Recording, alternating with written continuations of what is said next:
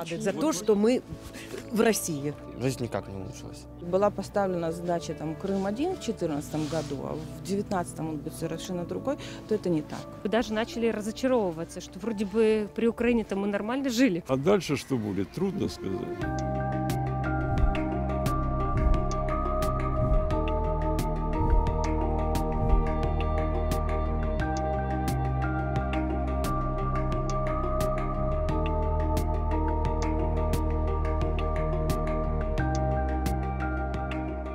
Очень хорошая жизнь наступила. Мы в два конца шли медленно и слепо, и таяли напрасные мечты. Эмоционально мы были все тут счастливы. Хуже стало отношение с Украиной. Зарплаты по сравнению с украинскими больше. Ничего лучше не стало. Даже начали разочаровываться, что вроде бы при Украине-то мы нормально жили. Ты возродишься, крымская земля, под русским флагом солнца и свободы.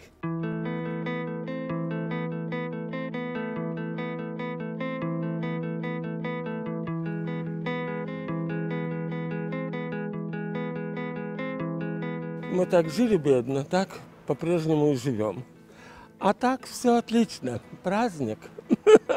Сказать, что здесь стало лучше, я не скажу. Зарплата, конечно, выше у нас, чем на Украине. В Ялте цены всегда были высокими. И при Украине, и при Советском Союзе. Турист, которого не обманули, это не турист.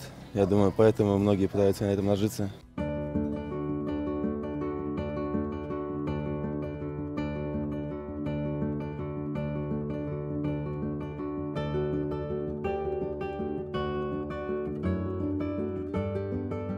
Это небо и земля, то, что было. Жизнь вообще не изменилась. Россия сюда вкладывает, это действительно так. В России больше возможностей ре реализовать для молодежи. Многие места для молодежи закрыли. Стало жить в Севастополе в 10 раз дороже, при, чем при Украине. И это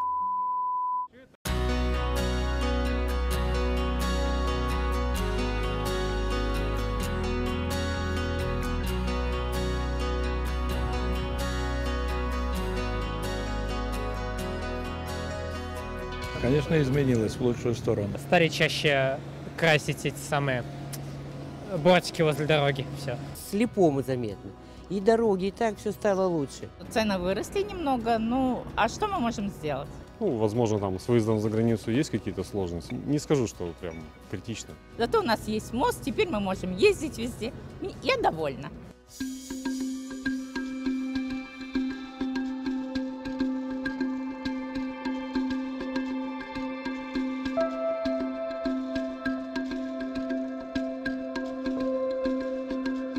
Санатории некоторые работают, которые при Украине стояли. Дух изменился. Как молодежи, которые любят посмотреть сериалы, некоторые сайты заблокированы. Ну, единственное, что это маленькие пенсии. Пенсионер, нормально, на пенсию уже, да, вполне. Крым в сердце как оставался, так и остается. Это родина и неважно.